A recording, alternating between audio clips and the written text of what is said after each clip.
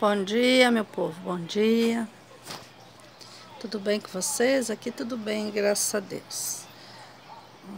Minha hortinha. Gente, aqui tá chovendo hoje. Choveu muito, muito essa noite. Chuvas fortes. Aí agora deu uma trégua, ó, mas ainda há pouco tava chovendo, aí parou. Daí agora tá assim, ó. Chove, para, chove, para. Mas tá tudo nublado, ó. Tudo nublado. Ó. Aí, um vento. E aqui, ó, tudo alagado, ó. Viu? Tudo alagado. Mas não tá frio. Tá calor. Não tá calorão, mas tá calor. Ó.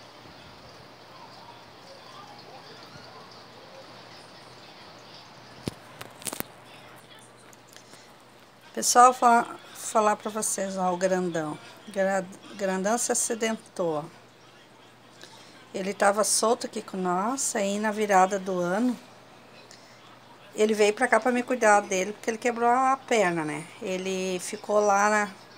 Daí o filho mais... O caçula, que é o dono dele, foi viajar com o marido lá pro Chile, todo mundo saiu de casa, o Andrés também foi junto pro Chile, o André. Aí eles trouxeram para cá para me cuidar dele que aconteceu? Daí demos remédio, ó, tá passando aquele azulão ali na pata dele por causa das moscas. Aí a gente abriu o portão pra ir lá na rua ver os foguetes lá, as estrelinhas lá que a gente gosta. Ele saiu.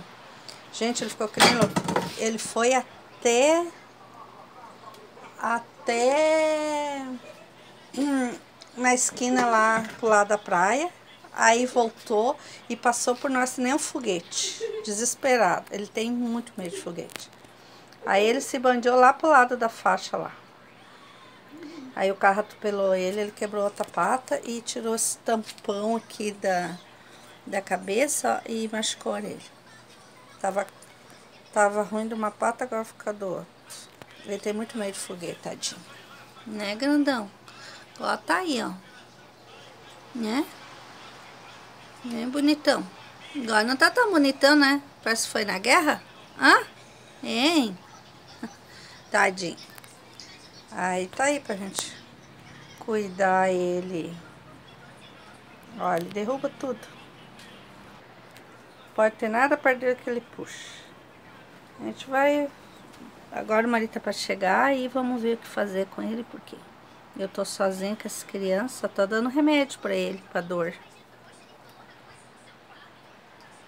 Né? Fofo.